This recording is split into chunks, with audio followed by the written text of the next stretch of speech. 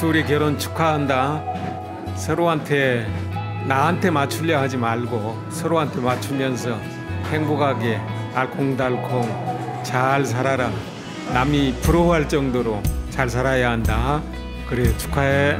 사랑하는 아르마 그리고 우리 듬직하고 멋진 사이 호성아 결혼 정말로 진실로 축하한다.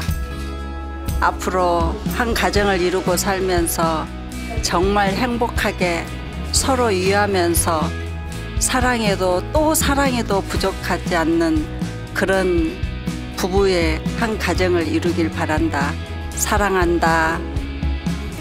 사랑한다. 사랑하는 아들 호성아 또 우리 사랑스러운 며느리 아름아 결혼을 참 진심으로 축하한다 너희들 참 서로 사랑하면서 서로 양보하면서 아름다운 가정 잘 이루기를 바란다 사랑한다 사랑한다 호성아, 아름아, 사랑한다. 열심히 살아.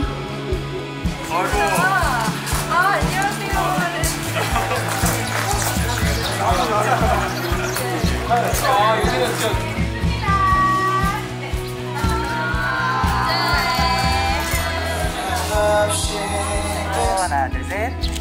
마지막 아예 아름아 호성아 축하해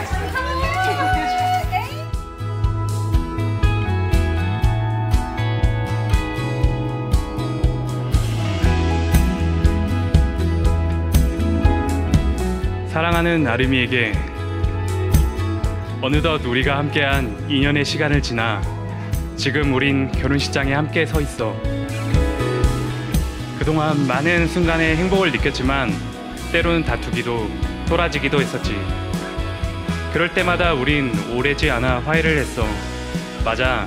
그 이유는 우리 서로 이해하려는 노력을 게을리하지 않았기 때문이야. 그래서 나는 열심히 노력할 거야. 그게 우리의 결혼하는 원동력이고 앞으로의 행복을 그릴 수 있는 희망이라고 생각하니까 결혼식을 준비하면서 여러 번 아름이가 내 마음에 들어왔던 순간들을 떠올려 봤어. 아름이의 삶에 대한 열정과 적극적인 태도, 그리고 하이텐션? 함께하면 앞으로 행복한 시간들로 인생이 풍요로워질 거라 확신했어. 그런 아름이와 함께함을 항상 감사할 거야. 나의 아내가 되어준 아름아, 내가 많이 사랑해줄게. 다툼이 있는 날에도 갈비뼈가 부러지도록 안고 사랑해줄게. 그렇게 우리 영원히 함께 사랑하자.